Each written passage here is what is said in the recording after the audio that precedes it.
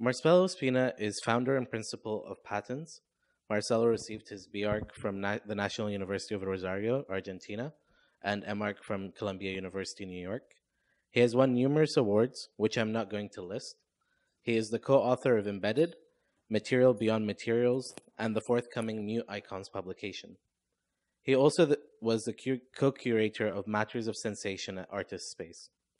Marcelo Spina is the Architectural Technologies Coordinator at SCI-Arc, where he has been teaching since 2001. Marcelo has been a visiting professor at Yale, Syracuse, Harvard, Berkeley, and Di Tella, among others.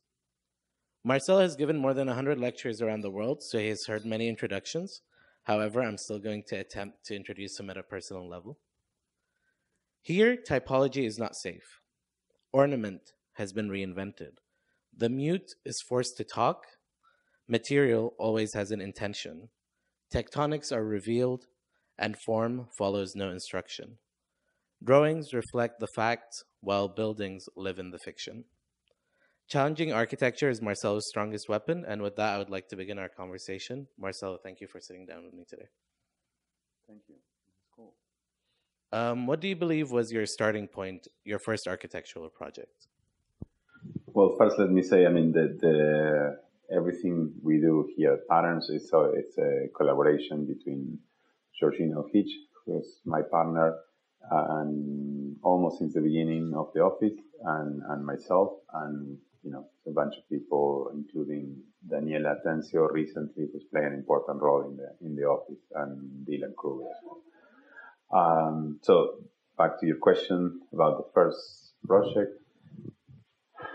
I don't know. I mean, I, I think there different sort of generations. I could go back to the first sort of ever commission after I finished uh, school in Argentina, uh, which was a you know a single family house and it was a serious commission and it was an important thing for me to like uh, you know try and take on i think as a practice probably uh, fyf house in argentina was really a kind of a starting point of of, um, of, of patterns in um, you know in with a project that kind of translated to the built environment uh, with an actual building. You know, we've done installations and, and buildings of a different scale before, but that sort of translated many of the assumptions associated with, you know, digital technology, with certain ways of working, with certain ways of, uh, or incorporating uh, moments of inflection, curvature in association with straight lines. Uh, you know, translate all those sort of sensibilities into actual build work and so that actually was a, you know, that was probably the most significant project, you know, in the, in the first one in the beginning. That's a perfect segue to the next question, which is you belong to the digital generation. However, you were always moving towards material form. So, what was the importance of building right from the beginning for you? Because this office has built and it continues to build.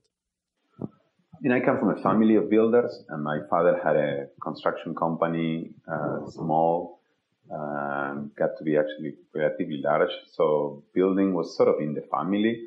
Uh, my view to building was never really a, an interest in building per se, but more like imagining buildings, uh, designing buildings, and then for somebody else to build. But building didn't seem unattainable because it was kind of in the family uh, I don't know, it seems like sort of a logical point in architecture and, and, in design, you know, but I never saw building in itself as a kind of, uh, as a sort of end in and of itself. You know, there needed to be an idea, there needed to be a concept, there needed to be something worth building. Uh, but the same way, I never thought that, you know, uh, I, I would have never been content with just the idea of imagining something and not caring whether or not it was actually going to get built.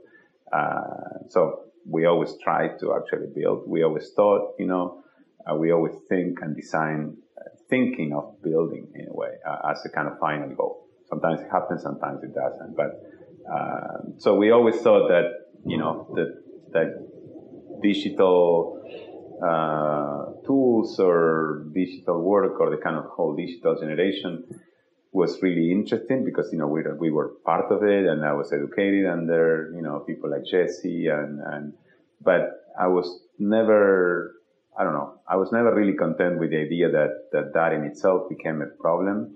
I mean, for us, the problem was always trying to do, to have a project and to do a great project, you know, meaning a project as a kind of larger thing, and then projects, you know, and sort of individual responses to actual problems. Uh, and in that sense, you know, building was sort of a logical step to try to test things and to make things more kind of available in a sort of in, in the uh, in the built environment, let's say. And you are very involved in academia and you're practicing. So there's a tension in academia if you're too focused on building, and then there's a tension in the built practice world where if you're involved in academia. So what tensions does that create? Because you have a pretty good balance of both. I mean, it does create a lot of tension. I think, again, I always, I've been interested in academia since I was a student in Argentina. I was interested in teaching. I saw it as a way of like uh, pursuing new ideas and testing new ideas and and and being involved also in the kind of you know in, in, in producing sort of pedagogy. Uh, but it does create a kind of friction with the work because the academia, especially places like SCI-Arc, move at a different pace than practice moves, and those two paces at some point become uh, you know potentially contradictory to each other, and so academia has a sort of some laws and, and, and, and, and rules and somehow uh, than the practice have. And I think, you know, we try to kind of um, understand those. However, we couldn't do the work we do without actually being associated to academia, you know, like I'm, my work at SCI-Arc, Georgina's work at UCLA, it's fundamental to our, to our work, you know, we're always like feeding back and forth from, from it.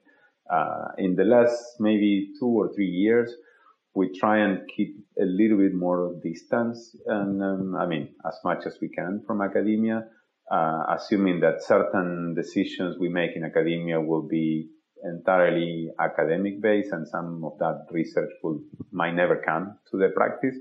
Uh, uh, but also, you know, infusing maybe more and more some studios with certain um, actual problems and, and, and issues that really come from the sort of you know, from, from the professional side of things, uh, assuming that those things is well positioned could actually constitute a stronger pedagogy and become part of the discipline in some way. Um, erasing or challenging typologies is something that belongs to you in a unique way. You've always tried to make sure that the buildings don't really reflect what their function is or their actual typology. So, what's the importance of challenging the perception of what the building is? I, think it's important. Well, I mean, first of all, typology is an important word, you know. I mean, and it sort of has kind of evolved over history, you know, since the I mean, since like early age, you know, uh, ideas of what the typology as a sort of rough question of, uh, you know, a sort of rough armature framework for building to the sort of more like Rossian idea of typology as a much more fixed condition. And I mean, we believe in typologies as somewhat kind of in between, let's say, uh, meaning we, we look at typologies as, let's say, you know, horizontal slab or, or a bar building or a tower, really basic things, but understanding that over history, there's certain transgressions, certain combination, evolution of typology uh, but typology always stays relevant for some reason, means like certain things are inescapable. Um, so we like to actually operate within that sort of framework to actually know where we can push things and know where the conventions are and accept them right from the start. So we can actually be closer to them and, and therefore hopefully try to either uh, further or innovate them. Uh, what um, forgot the question exactly, what the, the I mean, the idea of challenging uh, in terms of the perception of that, it's it's important because I think that's where maybe a little bit of innovation or novelty will will rely. Uh, in some cases, I think it has to do with the perception, not so much with the actual typology. Which I probably I would characterize as something more abstract, more like architects, let's say, like you know, you don't have like a I mean, a museum is a museum, but it's not a, it's hard to actually characterize as a typology somehow. So for me, I think what's important is to try and like create a little bit of undecidability, create a little bit of a sort of perception gap mystery in some way to actually maintain a certain distance between architecture and and experience of architecture. Talking about experience and perception, affect is an important aspect to your work. Would you say that you belong to the school of phenomenology?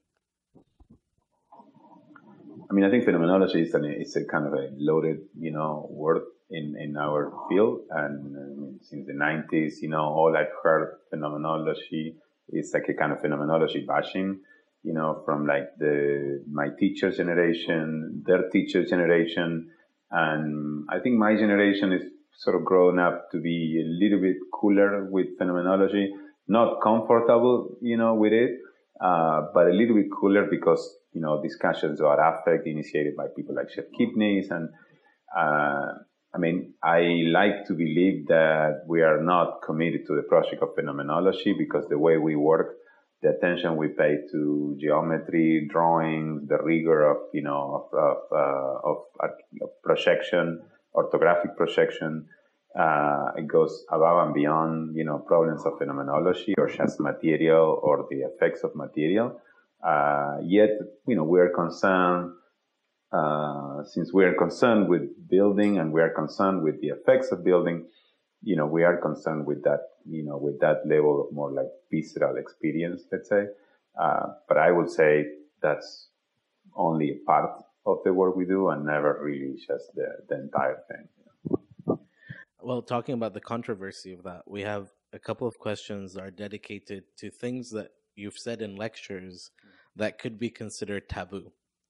So it's art, philosophy, economics, and poetics. So we'll we'll we'll go through the questions now.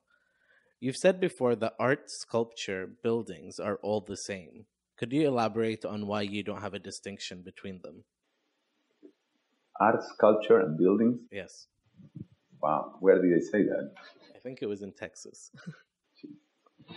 um, I mean, what I like believe is that that art, which is obviously part of culture, science, and architecture, meaning like, uh, or certainly all creative fields uh, are sort of in an equal stand. Uh, you know, that they actually will be sort of in a more horizontal milieu where they, you know, the role of architecture is not to translate uh, art into a kind of built work, uh, but it actually to generate its own ideas. In doing so, of course, we draw from art, as uh, art often draws from architecture in a different way. The responsibilities, the kind of the, the, the constitution of our our field, uh, the service-oriented portion of it when it comes to a profession makes it kind of more complicated. So I do believe that, you know, that architecture is kind of, you know, it needs to feel more comfortable and architects need to feel more comfortable in their own field rather than bash and complain about the limitations of it. And because it's just, you know, what it is. So, you know, we're not movie makers. We're not artists. We're not painters you know, we're architects and, you know, and I, I think we should be kind of content with that. At that, you know, maybe that's what I was trying to, I, I, I was trying to mean. Uh, but I can't remember exactly the context of the discussion. You find philosophy on materials interesting or material philosophy. However, you don't believe that philosophy applies directly to building. What are your thoughts on philosophy's position within our discipline? I mean, I know. I think philosophy has been like, uh, I find philosophy very, very important. I, I find philosophy as a kind of, you know, as main mission is a sort of building of concept, building of ideas. Uh, that might be a little bit different than maybe some more contemporary understanding of philosophy as ideas of like, you know, mystery in the world. Uh, but in that sense, you know, I think that philosophy has a lot to actually offer to architecture, you know, from like the idea of like what it means to actually dwell, to think, you know, to, to write, to conceive. Uh, so I find philosophy incredibly significant. Uh, having said that, I also find like, like the sort of direct translations uh, of philosophy into architecture, you know, from like the, the Derridian models of deconstructivism to the sort of Deleuzian ideas of the fold, um, you know, or the uh, rhizome or smooth and striated. uh, which I was actually, you know, in school under that time, to maybe more sort of like recent ideas of, you know, of, uh, of the object are all super attractive, but I think, you know, we, I think architects just need to be a little bit more, uh, not careful, but, but need to actually understand that, that those, the, uh, that since philosophy, art, and architecture live in a kind of world and they are all not subsidiary to each other, but they live in a kind of horizontal milieu. Uh, direct translation will actually never really work, and, and we must find our own means of understanding problems. You know, of course, since philosophy actually makes the problems, we might take the problems from them, but we, I think we need to find, their, you know, a home, a better sort of like uh, um, framework for positioning those problems in architecture. But I do believe, by by all means, that that philosophy is actually incredibly important to, to the world first and to architecture as one of the sort of creative fields and disciplines.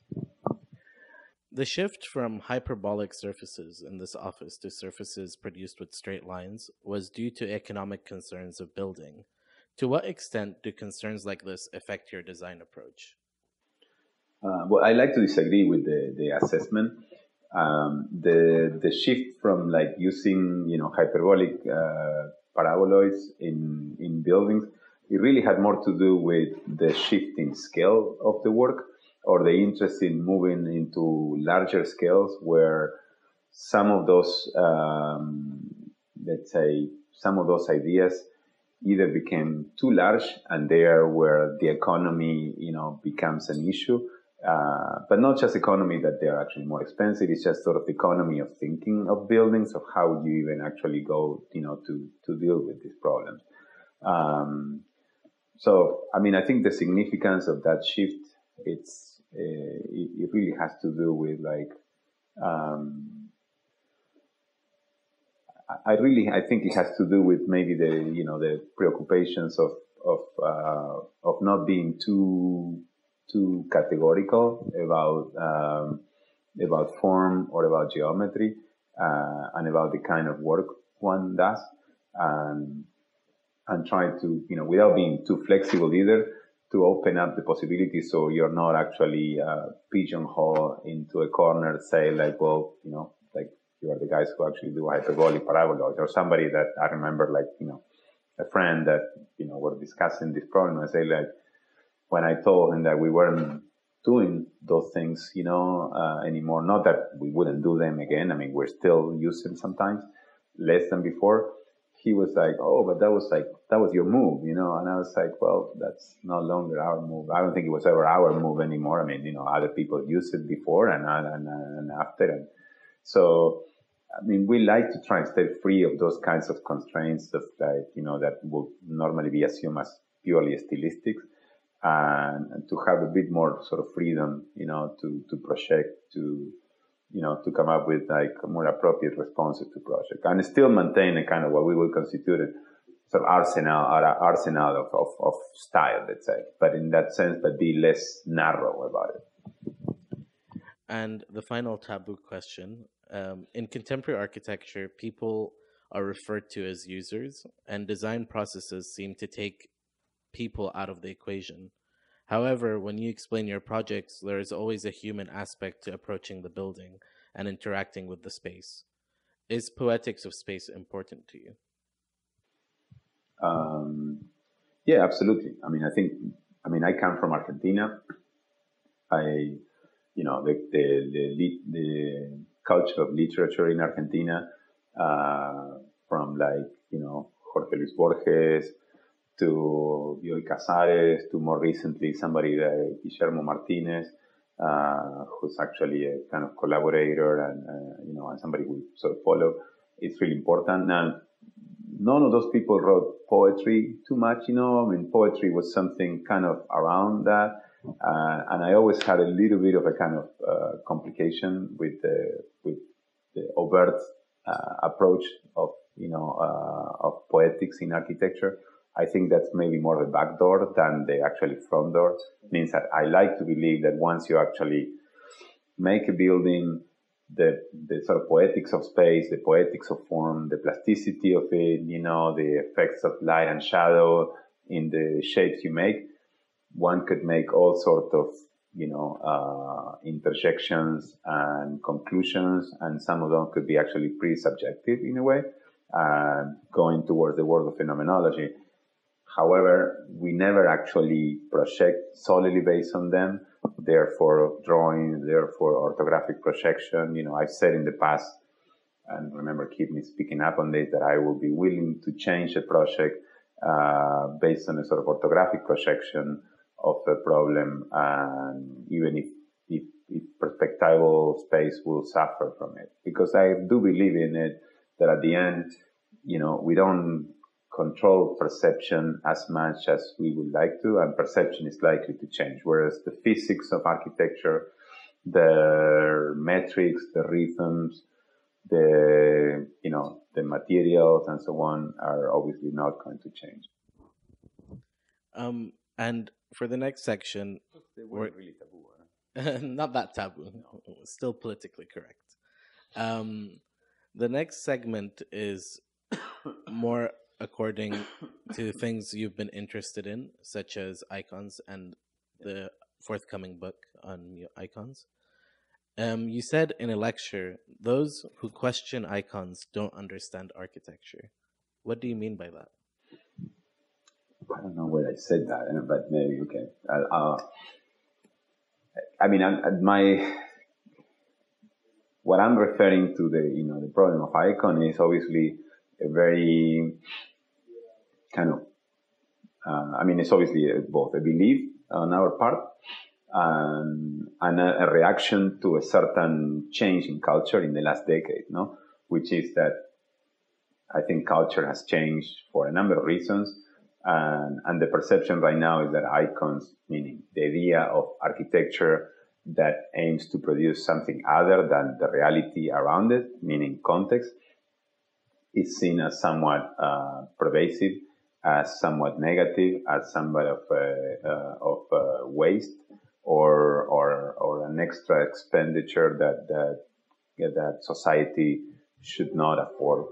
And so, to that kind of uh, you know sort of do-gooder uh, idea of society that seems to prevent the, the production of icons, I say architecture is always been associated with the production of an icon. Now, the icon in itself as an idea, it's obviously a very elusive word because you know we make form, material, structure, but we don't make icons. You know, like society, culture make icons. So when I'm talking about icon, I'm talking really at the idea that hopefully, if you actually believe that architecture is a sort of form of culture, um, architecture in some form, you know, with a capital A, with content, with a message, becomes iconic in some way, in some way, in some uh, examples more than others. So I do believe, and I am committed to the idea of the of the continuation of the project of the icon in our own way. And this is where the kind of paradox begins, where you actually put the word mute beside icon, you find something that is, you know, in itself a kind of oxymoron, you know, and and that's the kind of idea that I say like, you know, the icon needed to be retuned and fine tuned to be, to maintain its relevance. And I, and the way we believe to do that, and of course, mute icons can take a certain, you know, many different forms, is that the icon has to be less of a kind of extroverted uh, thing, uh, less of a shock and awe and sensation making uh, piece, and maybe more introverted, more withdrawn, more uh, mysterious, and and in that way, you know, so sort of to delay the kind of apprehension, to delay the commodification even, and and even to you know to kind of mix up and and, and complicate uh, or strange the kind of feelings in and around it.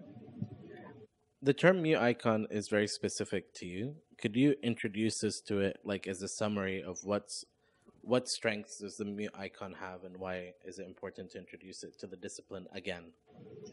Well, I mean, one of the things we've been doing, and this goes back to like, you know, um, what we think architecture is, you know, what the sort of history is to try and like not only explain it with words, you know, explain it with like with meaning, but also try and like to construct and retroactively a history of new icons in architecture, meaning to look at projects uh, from like you know the pyramids in in in Egypt through some sort of ruins in the middle of Saudi Arabia to churches in Ethiopia uh, to early projects by um, by Boullée and Ledoux, you know, very well known in some cases, to some of the bunker, bunkers of Virilio, uh, and obviously some, some ideas pioneered by Corbusier and others, to look at projects that have been referred in many different ways, and, uh, either as monolithic or as projects that actually are uh, built from the ground or as projects that are actually engaging in autonomy.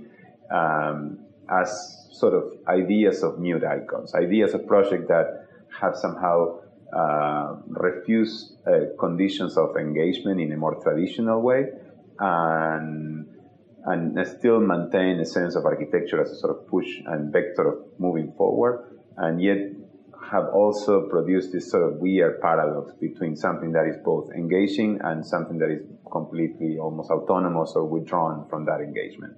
And, and so in that way, we think, you know, we kind of potentially put our own project, our own interest as not something that is completely new because in that sense, we don't believe in, in the new as a kind of a absolute in architecture, but more as a sort of evolution of, of ideas that exist, you know, somewhere between past and future.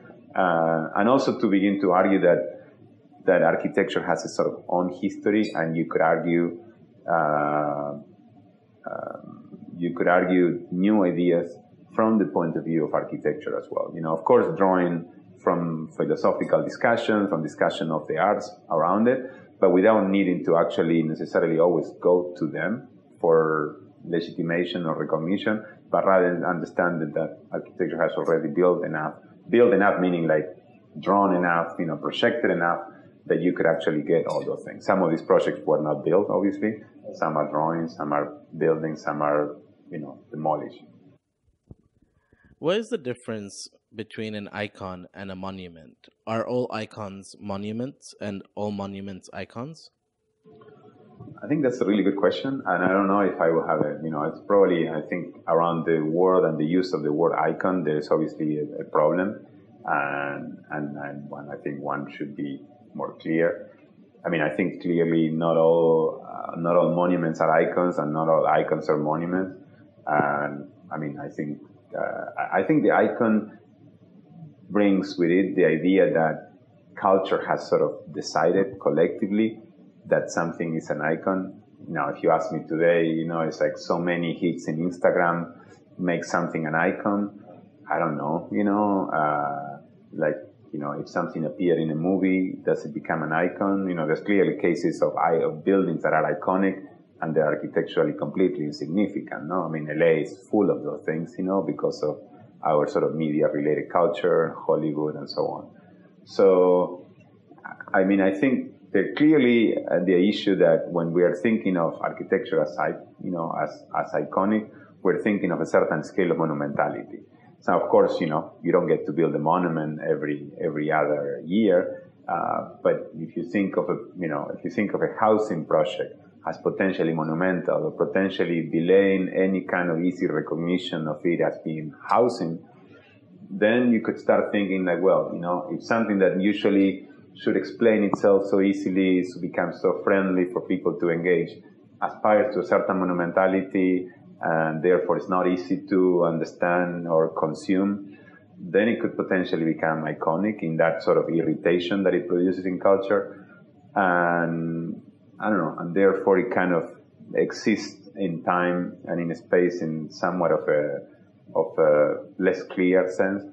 So that less clear uh, moment it's something we're interested in. Whether it becomes an icon, I don't think we get to really say it. And monuments is obviously you know far beyond that.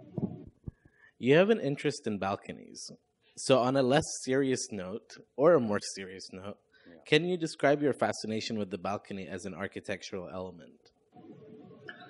I don't have an interest in balconies, you know, just to be clear. I think this has to do with like, you know, having done at least two residential projects in Argentina, balconies are so pervasive and so kind of commonplace that that we did we did need to engage them, and and they you know, and they became in some cases sort of the issue of the of the project uh, because they, because they're not necessarily the most relevant, but the most visual aspect of the of the project.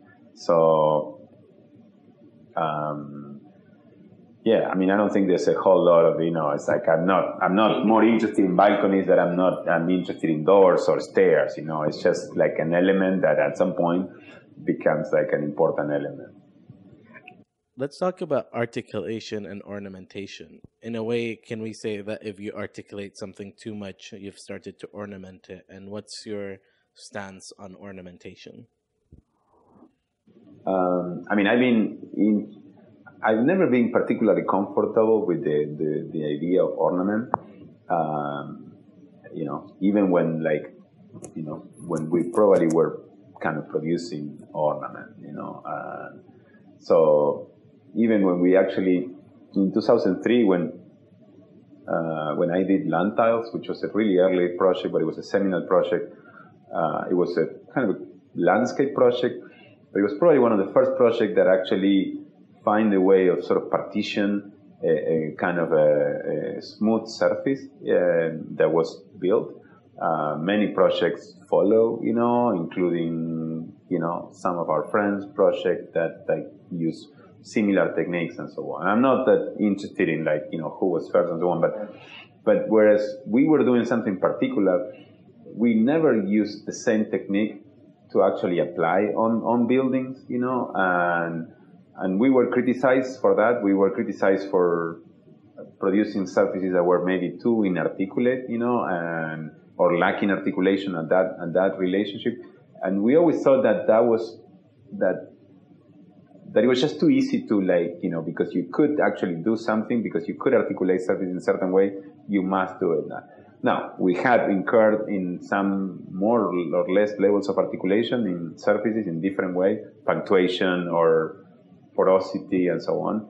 And I, I think I tend to think of ornament as something that you actually, it's added to architecture and, and articulation as something that somehow is sort of part of the trade of, let's say, articulating a facade is it's it's also maybe resolving the relationship between interior and exterior of uh, of a building. Let's say actually putting windows in a facade, it might constitute articulation, uh, whereas uh, ornamentation is something else. Let's say. Uh, of course, one could actually begin to push those two ideas together, and maybe, arguably, in some cases, we might have done it in the past. Uh, we're now you know, certainly moving away from ornament and, and maybe are much more interested in what could maybe be considered either micro ornament or just texture, something that is like really much more off the material and off the surface where you can, you know, you, you can never really take it out, you know, uh, not even like materially, but also conceptually. How do you define context and how does one engage or disengage with it? um, how do I define context? I mean, I think uh, I think context is really whatever um, you know, whatever is really around uh, the project, a project, uh, both in space and time, meaning the politics, the culture, the geography, the economics, uh, the finances, the codes, uh, the legislation, the mood around a project. That's really context, and it's really, really important. And, and so we always try to be mindful of context. Uh, we always try to be, you know, uh, independent from context as well. And, and so we never just look at context and say, well, you know, what would be the response for us? But we also, but we also sort of pay attention to what actually, you know, what like from the our interest uh, in the abstract, let's say, from our sort of like ethos and our way of thinking, what would make the most sense, you know, and what would have the better chances to actually producing the, the, the, most effect in that particular context. And often it's actually by opposition as well. You know, like, you know, you look at a context and, and, and understand like you know, everything here works in a certain way. How do you actually like somehow fit in and differentiate yourself from that? You know, and I think that, which again, you know, brings the idea of dichotomy to many of the work we do, which is like sort of fitting in and standing out. It's really some of the things we try to do. You know, we don't try to just stand out and we don't try to just fit in. We try to actually do both at the same time. You know, with different uh, different degrees of success and failure, and and and, and fine tuning of you know, let's say the percentage of those two things. No. You refer to architecture as a feedback loop that constantly needs to be readjusted. And to end the interview, I'd like to ask what shifts or readjustments are you making right now in the office?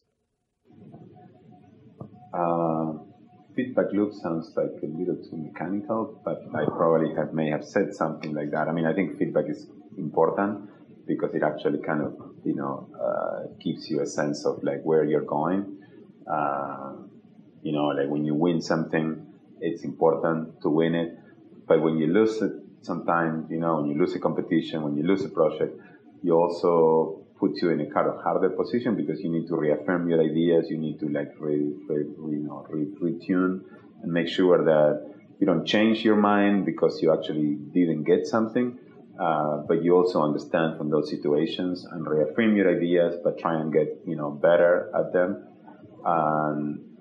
So I mean, I think at this point we're you know we're sort of pursuing um, I mean, I think a line of work which is on a certain level very much, um, you know, on, on in sync with this idea of new icons, uh, which is, you know, a book, a sort of a, a, thing we've been working. On the other sense, it's much more kind of a, a speculative in terms of engaging uh, the conditions that we find we find in the ground um, as a necessary way of getting any sort of project off the ground. And it means like, you know, the challenging that we're trying to, you know, put to anyone working here is to actually to try to understand, to be really serious about the kind of commitment to to understand the project, to understand what makes the project, to understand the context and the regulations and so on, the materials, you know, like that building in Indonesia uh, in an island is very different than building in downtown LA in a, in a, in a tower. Uh, that doing a small project, you know, for a kind of, you know, for a sort of cultural foundation. So um, understanding that sort of gap, the differences, and still maintaining a kind of cohesion over the, the project, it's it's probably our kind of, you know, main focus and, and, and challenge as well, you know, for everyone that works here. I've always appreciated our conversation, and I know you're extremely busy at the moment in the office, so I appreciate you taking the time to do this. No, this is fun. Thank you so much for doing this. I really appreciate it.